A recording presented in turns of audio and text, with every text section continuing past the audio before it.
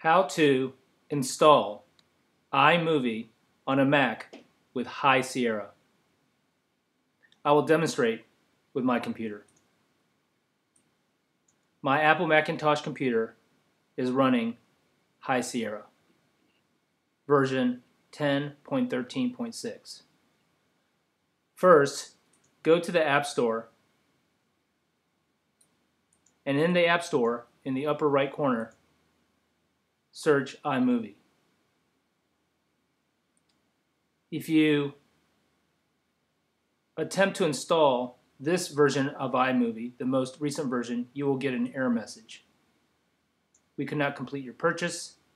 iMovie can't be installed on your Macintosh because Mac OS version 13.5 or later is required. 13.5 or later is required.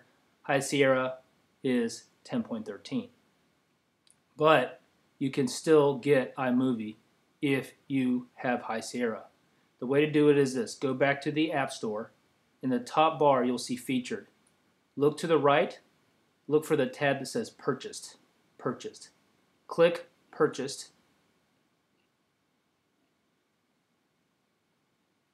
And the iMovie icon will show up under Purchased.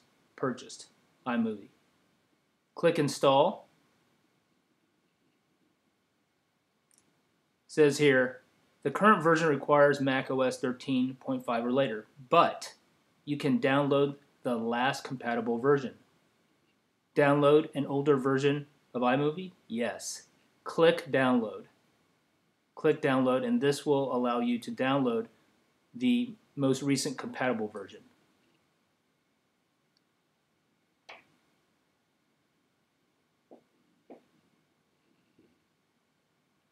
And as you can see here, it is installing iMovie on this Mac with High Sierra. I did this earlier on my other Mac running High Sierra, and the iMovie opens up and it operates.